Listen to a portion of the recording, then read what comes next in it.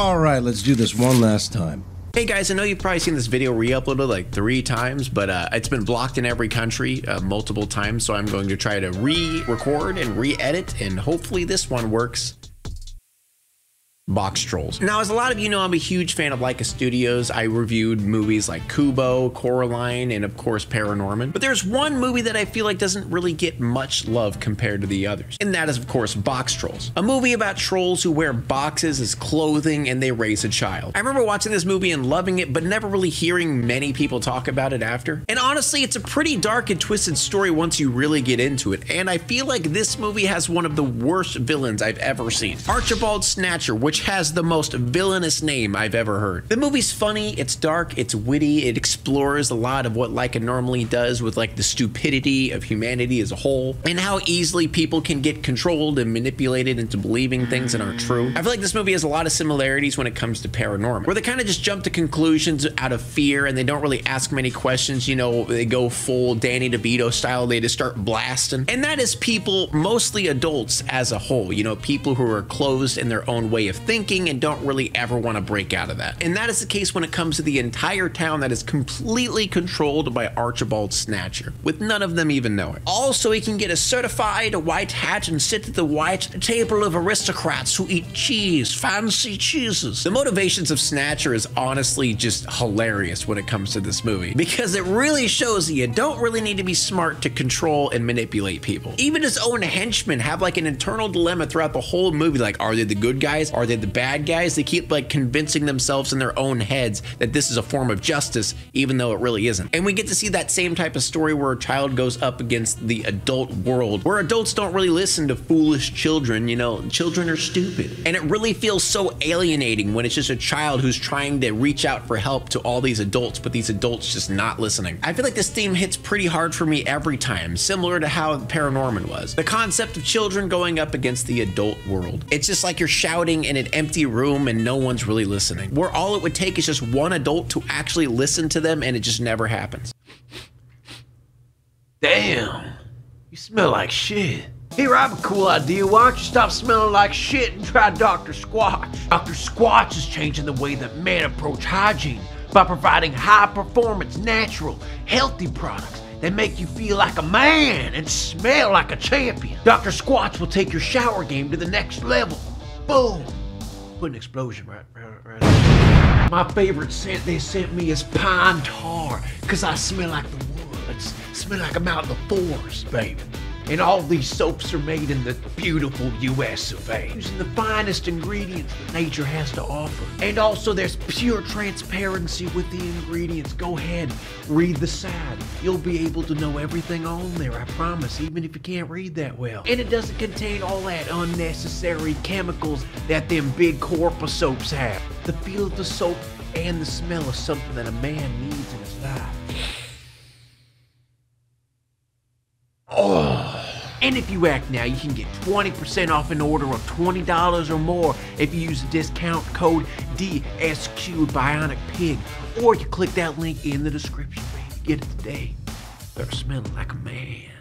So the town that this all takes place in is something out of a fairy tale perched on top of a dagger-shaped mountain. It seems to be set in more of like a Victorian version of England, with a round table of gentlemen in white hats who lead the town, and something very interesting about this town is everything is run on cheese. Cheese is like the purest delicacy, the most expensive thing you could get, and it is a prestigious honor that only the highest status of people can do. And the man that reigns on top, the mayor of this small little town, is none other than Lord Port Portley-Rind. And the foolish people of the town are led to believe that these trolls come out at night and eat your children, snatch up kids, and eat their bones. And the main source of the spear comes from none other than Archibald Snatcher. And how this movie starts out is what we see looks like a troll actually stealing a child, and Archibald running to the mayor to tell him, Oh my god, they stole a child and they're feasting on the horrible baby bones. And that's kind of how this whole troll story started. And it's funny watching him talk to the mayor about a child getting eaten alive because the mayor literally just like, okay, okay, we'll just deal with it tomorrow. Just shows how entitled and careless he really is. And the only way Archibald was able to make a deal with him and get him to care is he mentioned that the trolls are going to be coming for the cheese next. The child mm, doesn't really matter, but the cheese though. Oh. And the cheese situation causes the mayor to panic, so they end up making some sort of a deal. If Archibald Snatcher can kill every single troll and give proof to the mayor that he killed every single one, he will get a coveted white hat and sit at the round tasting table of cheese. So a year passes by and a curfew is in place, and he tells everyone to hide in your doors. Here come the trolls. They're gonna come out and snatch your children and eat them just like the Trubshaw baby, because the Trubshaw baby is kind of like the, the big thing that makes everyone afraid. Like that little myth, that little legend that makes people really believe that it actually happened. We then get a scene of the trolls running through the town, stealing little pieces of trash and like rummaging through garbage and stuff like that, which honestly does seem like a bad thing on the surface, but once you realize what they're actually doing, it's kind of cool. Actually, all of these trolls are curious inventors, and the reason they go out at night to grab little pieces of garbage and little trinkets is so they can learn how they work or build something out of it. And then we also get introduced to the henchmen. Two dudes who kind of just seem like innocent guys who believe that they're doing something good for the town. And then the third one who is just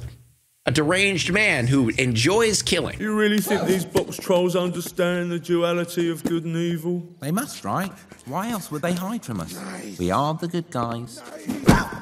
So next we get to see the giant layer of the trolls. It's like a bunch of different inventions, a bunch of makeshift products and stuff. And then we see that the Trubshaw baby actually wasn't eaten alive, but actually is being raised by the troll named Fish. Because every troll's name is based off of what box they're wearing. So if they have a box that says fish, his name's Fish. And if the Trubshaw baby has a box that says eggs, that baby's name is Eggs. And we see that Fish treats Eggs as his own child. He plays with them, he feeds them, he gives him toys, they even play music together. And as time passes and Eggs grows older, all of the trolls gradually start dwindling down. And the reason that they're dwindling down so much is the fact that in their nature, they're too afraid to fight back. They're pacifists, you know, they don't want to try to fight back or, or stop this. They're just going to hide. And next we meet Winifred, who is a child of Lord Portley-Rind, which is a very, very strange child. For some reason, she gets very excited at the idea of trolls coming in the night and uh, eating her alive. I don't know why. And we get to see even more the mayor cares way more about cheese than even his own daughter. The Lord Portley-Rind asks to shoo away his daughter, gives her his hat and says, hey, can you go wash this real quick? So in an angry fit, she threw it out in the road. She walks outside and runs into Eggs, the human being dressed as a box troll. And then she sees that the boy gets chased off by Snatcher's men, and then Snatcher shows up, so instantly she starts realizing, hey, something sus. And then Snatcher mentions to Winifred, hey, what are you talking about? You only saw you only saw trolls, you only saw monsters. And then the worst part happens.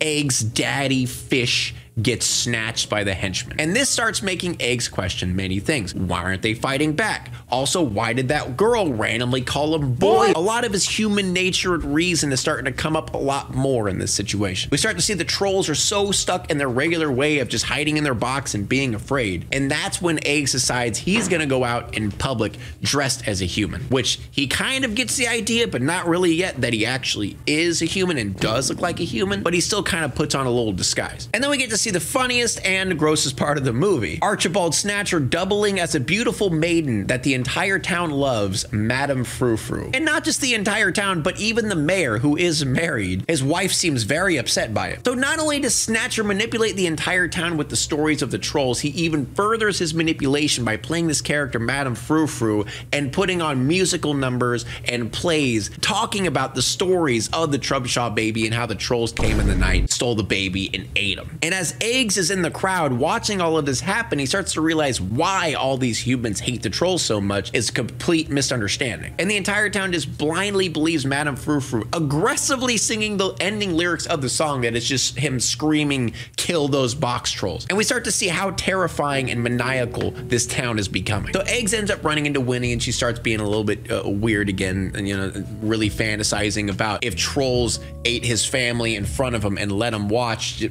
Goddamn psychopath. So as Eggs is running away from her, he mentions, yo, you're wrong. Everything you think about us is wrong. Then we get to see the hilarious twist when it comes to Snatcher's whole motive of this entire thing. He's completely allergic to cheese. Not just allergic to cheese, like deathly allergic to cheese. His entire life goal is to get a white hat and eat cheese with all the white hat men. However, He's got that allergy. And he's so far in denial about his allergy that his own henchmen have to hide the fact that they have leeches ready for this specific occasion. He even makes all of them don these paper white hats in a circle to kind of role play the idea of being an aristocrat. And whenever he has this allergic reaction, he turns into this huge gelatinous monster basically, has no idea what he's doing. And that's why they had the leeches to throw on his face and he forgets everything that happened. But while all this is going on, Eggs actually sneaks in and finds that the box trolls actually are alive and are actually down there making something for him. And as they're chasing around Eggs, Winnie was actually in the background when Snatcher let it drop. Oh, hey, Eggs is actually the Trubshaw baby. So now that the cat's out of the bag, they end up barely escaping into the sewers with fish. And then Winnie finally realizes, oh, hey, the trolls aren't going to eat her face, which apparently she was upset that there wasn't a mountain of bones and uh, blood everywhere. She's a goddamn psychopath. So Winnie explains to Eggs that he is not actually a troll and he's actually a boy. And obviously he has a little bit of a struggle accepting this because he's been told that he's a troll his entire life. And this is where shit gets very depressing in the movie. Fish tells Eggs about where he actually came from. Apparently his father,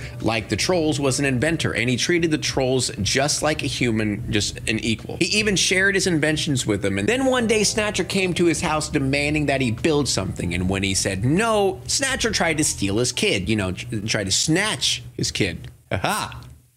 No. So his father repelled him down to the trolls as Snatcher ended up killing him. So Fish ended up taking the baby and kind of raising it as his own. And it gets even more sad when Eggs ask Winnie about what a father is. And she tells him a father is someone who loves you, cares for you, listens to you, never gets angry, and does whatever he can to protect you. Which is goddamn sad because her father is legitimately a complete piece of shit. Honestly, let's be real. Most fathers tend to be pieces of shit. And it really hits hard seeing how sad she is telling him what a father should be. And unfortunately, since she was saying all these great things about fathers, Eggs is like, well, let's just go to your dad and tell him, and then everything will be better. No.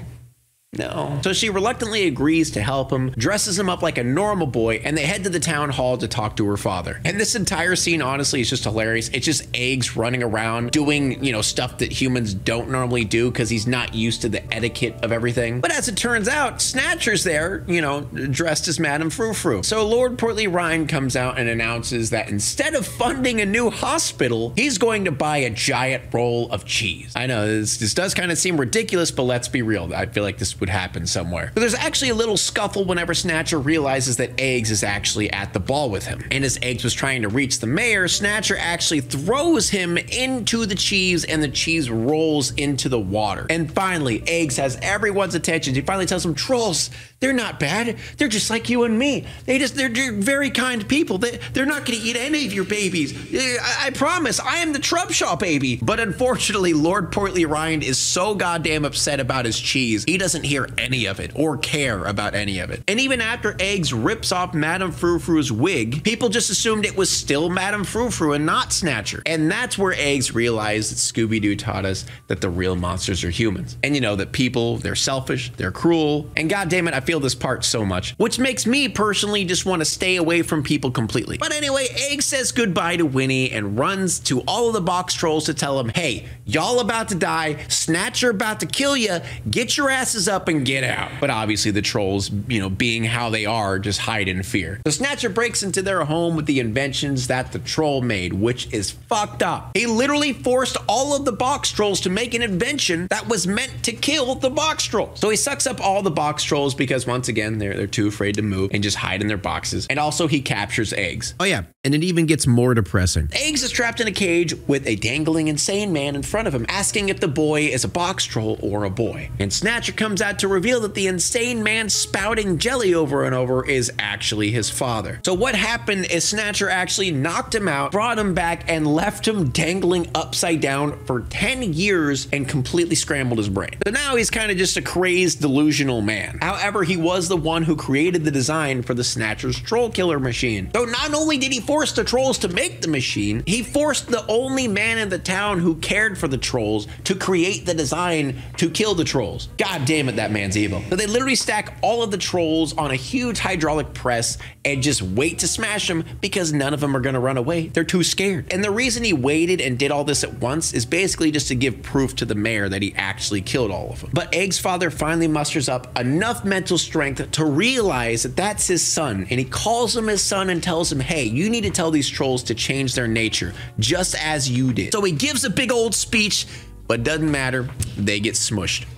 So Snatcher makes a grand entrance into the city to tell the mayor, hey, I killed all the trolls. Give me my damn white hat. And somehow Snatcher gets worse. To prove that he killed all of them, he left one troll alive, which happened to be the boy, and he dressed him up as a troll and is literally going to burn him alive in front of all of the townsfolk. Once again, the worst villain. Even the entire town, while he's dropping him into the fire, is chanting, kill that box troll. What is wrong with these people? But alas, as Eggs was about to be burned alive, that internal dilemma that those two henchmen were dealing with the entire movie, they finally realized, oh hey, maybe burning a child alive in front of all these people isn't what good people would do. But as they were taking Eggs away from the machine, the third insane one grabs the device and tries to put him back into the fire. But actually, Eggs' little speech he gave earlier on actually got all the box trolls to get out of their boxes and get away safely. So not only the trolls, but Eggs' father came up and they all started jumping on the machine and started breaking it apart to save the day. Then the townsfolk sees that not only the Trubshaw baby, but Mr. Trubshaw himself are both alive and realize, oh hey, we've been lied to for many, many years. And not only that, but Snatcher reveals that he was Madame Frou Frou the whole time, which led many men to feel very regretful with their decisions. There could have been something special, but you've broken our agreement. Why is he talking like Madame Frou? oh my god. I regret so much. So since he didn't earn the hat, his secondary plan, which is another reason why he built the machine, is just to take it by force. But like I said before, the box trolls are all jumping on him, trying to take down the machine. They end up destroying the machine by putting the sucky suck into the sewer water, and the water goes up, it blows up the machine. So at the end, all the other white hats apparently went out to the water and grabbed that huge wheel of cheese. And the third henchman was kind of just hanging out under the machine and just died. He literally just got flattened.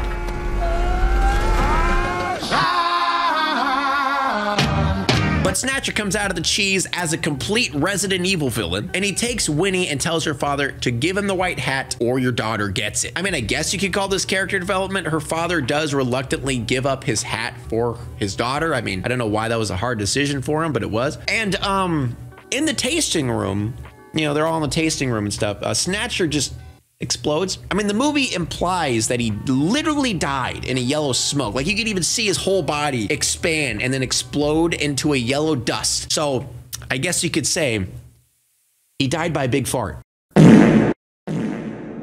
So there is a happy ending. Egg's father kind of goes back to normal with his brain, and all the trolls live happily ever after. Also, a cool little thing at the end is that Egg's father is actually wearing a box that says jelly on it because his favorite dessert was jelly. He kind of mentioned that throughout the beginning of the movie, and also when he was dangling upside down, he kept talking about jelly. It's just thought it was cool at the end that he had a box that had jelly on it. But anyway, that's the video. Boy, do I hope this one doesn't get blocked in every country like it did before. But I hope you guys enjoyed this one. If you did, please subscribe. Please tell your friends. Please tell your mom, especially. I'll see you in the next one. Bye.